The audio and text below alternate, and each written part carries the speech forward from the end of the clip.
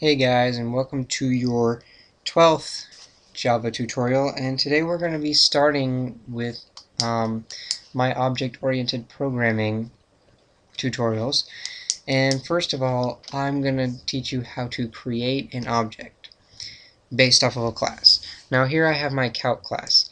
Now you're like okay well last tutorial we used calc dot whatever to access the methods but there's an easy way to do this and you don't have to do it most of the time. Sometimes you do, sometimes you don't. It depends on the class.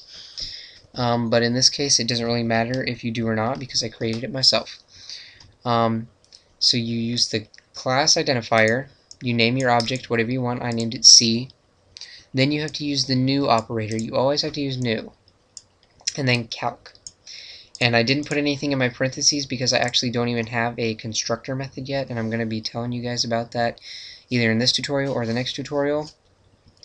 But um, that's how you create an object of a class, an instance of a class is what it's also um, commonly called. Now down here I've done c.addition and we're passing the parameters again, that little football. It's going to go ahead and it's a void method, going to public void method, and it's going to do console.writeLine. Now you've noticed probably um, that I didn't use the word static.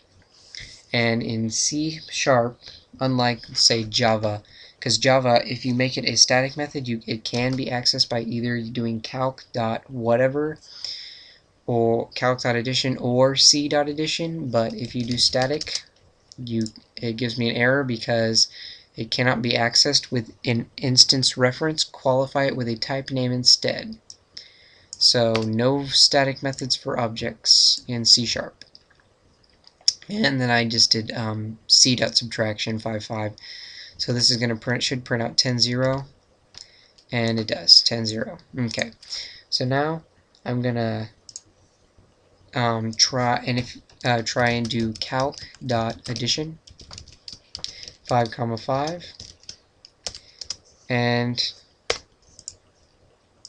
it gives me an error an object reference is required for the non-static field. Since it's not static I can't just simply use the calc um, the calc header the um, the class identifier.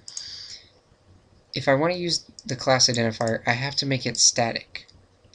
And so right here, since I have calc.addition and c.addition, it's not ever, if you can't ever do that. You either have to create an object or you have to not create an object. You can't do both.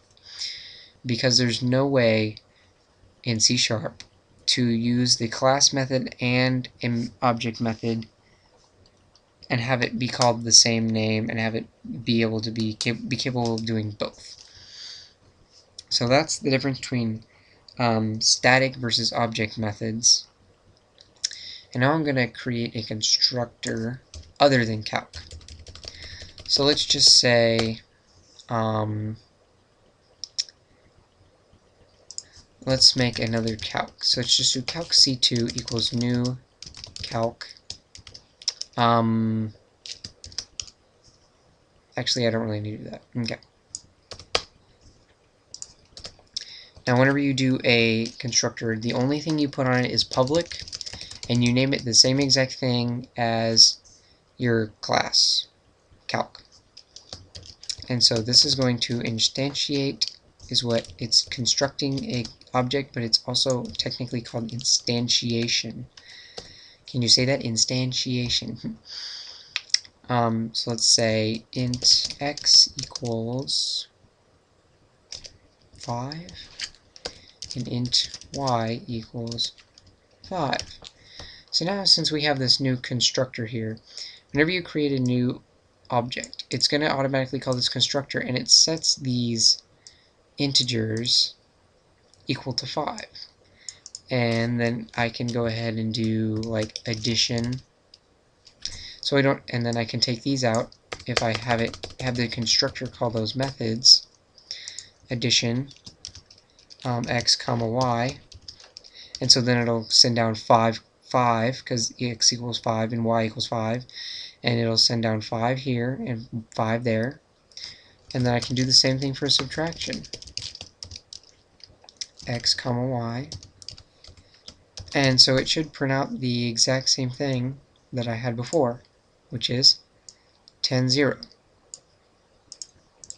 So that's an easy way to do that, but usually, just to let you know, you usually don't put a method call in a constructor.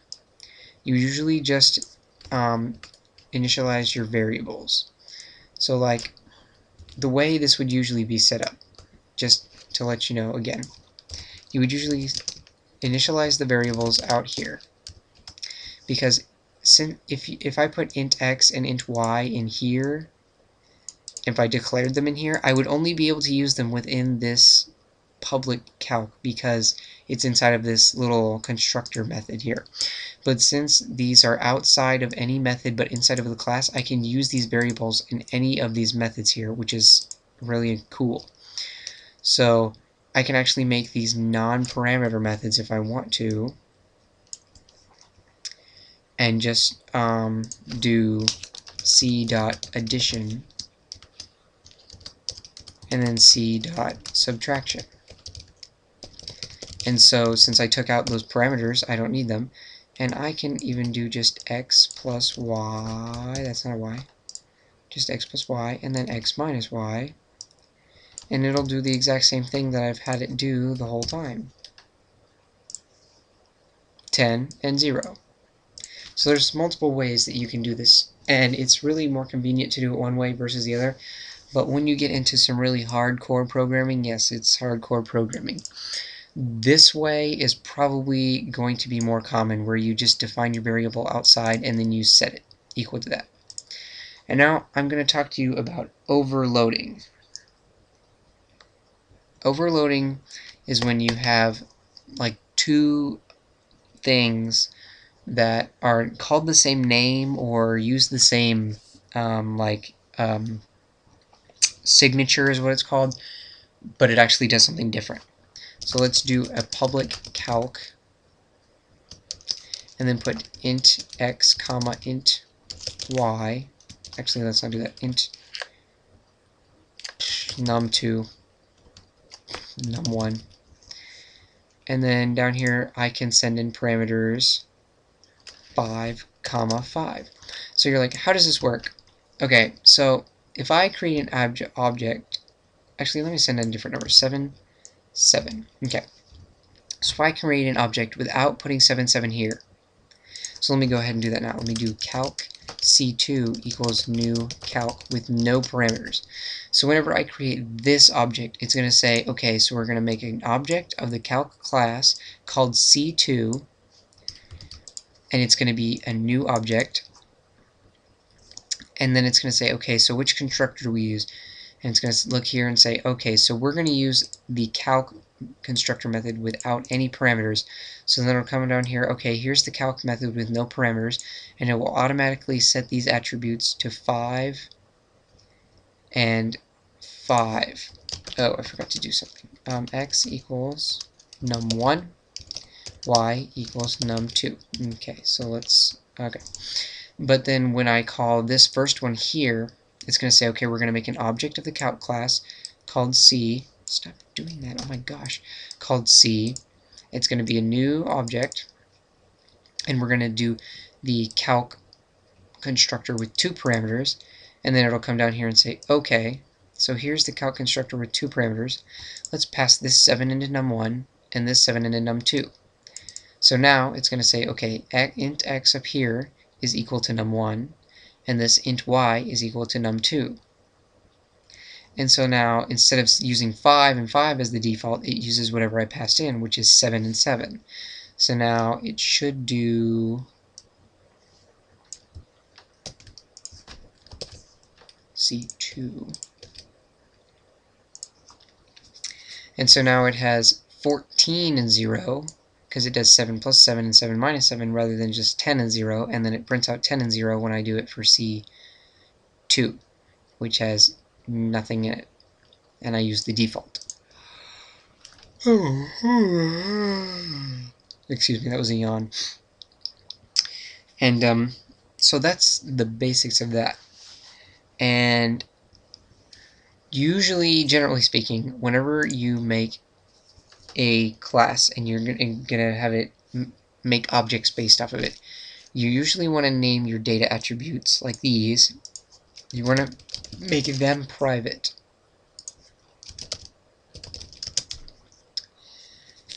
And I'm actually going to talk about this in the next tutorial. Um, so that'll be um, talking about data attributes of a class for a method, the instance of a class. So um, I'll see you in the next tutorial, and I'm going to be using this exact same code for that tutorial, and I'll see you then.